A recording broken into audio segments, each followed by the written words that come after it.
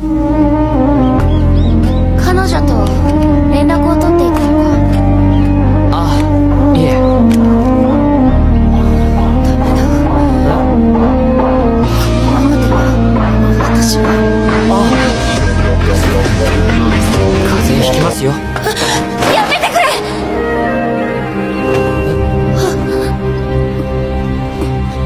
吉野はい私はははい？恋というレベルではない。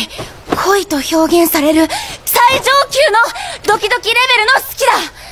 今もお前を抱きしめたいとか耳たぶに触れたいとか思っておるのだぞ。ああも耳たぶを？うじれったいやつだな。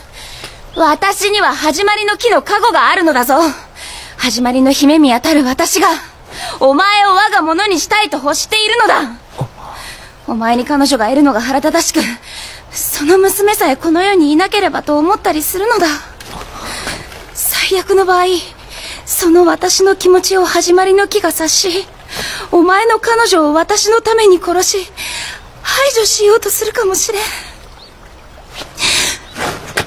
私はもはや自身で気持ちをコントロールできん。だから吉野私にお前を諦めさせろ。そうか。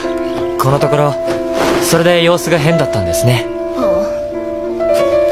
わかりました。それならもう隠しておかない方がいい。彼女のことは心配いりません。どうせ始まりの木にもどうにもできませんから。そんなさらっと理屈に合わんことを言われても安心できんぞ。理屈には合ってます。オフィーリアを愛していた。たとえ幾千幾万の兄がありその愛情全てを寄せ集めたとしても俺一人のこの愛には到底1年前に死んだ彼女の何を今更心配する必要があるんです？